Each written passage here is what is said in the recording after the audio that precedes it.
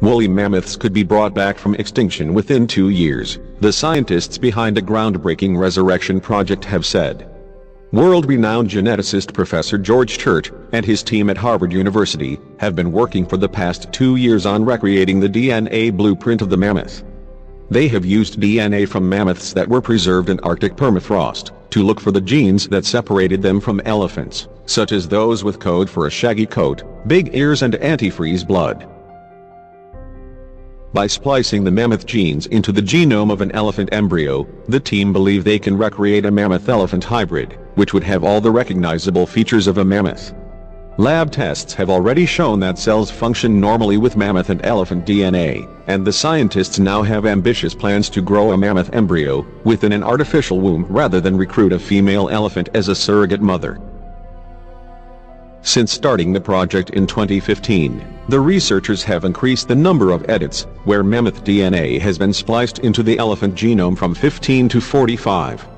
Professor George Church, who heads the Harvard Woolly Mammoth Revival team, said, We're working on ways to evaluate the impact of all these edits, and basically trying to establish embryogenesis in the lab.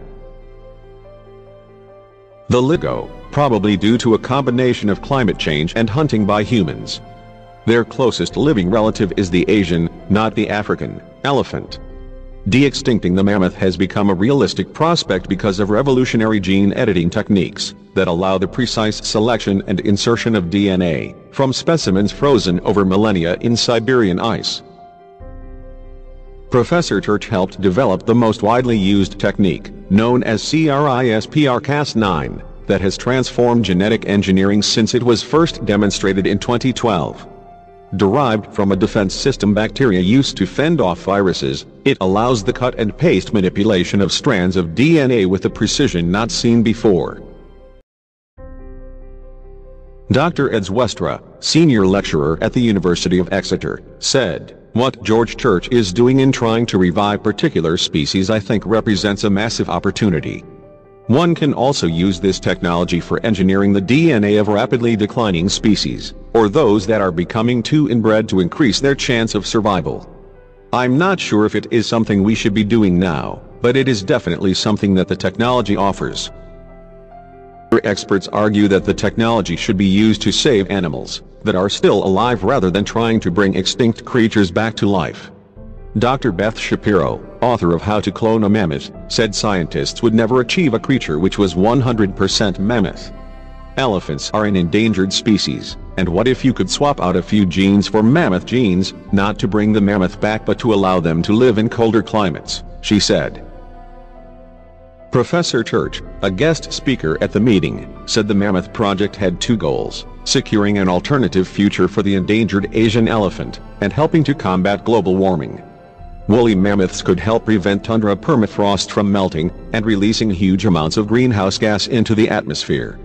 They keep the tundra from thawing by punching through snow and allowing cold air to come in, said Professor Church. In the summer they knock down trees and help the grass grow. The scientists intend to engineer elephant skin cells to produce the embryo, or multiple embryos, using cloning techniques, Nuclei from the reprogrammed cells would be placed into elephant egg cells whose own genetic material has been removed. The eggs would then be artificially stimulated to develop into embryos. Referring to the artificial womb, Professor Church said, We hope to do the entire procedure ex vivo. It would be unreasonable to put female reproduction at risk in an endangered species. We're testing the growth of mice ex vivo. There are experiments in the literature from the 1980s but there hasn't been much interest for a while. Today we've got a whole new set of technology and we're taking a fresh look at it. Professor Church predicts that age reversal will become a reality within 10 years, as a result of the new developments in genetic engineering.